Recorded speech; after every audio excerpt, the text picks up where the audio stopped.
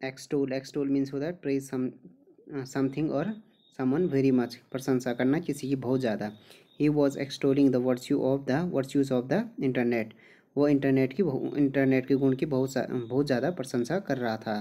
तो ये हो गया एक्सटॉल मीन्स प्रशंसा करना प्रेज समवन और समथिंग वेरी मच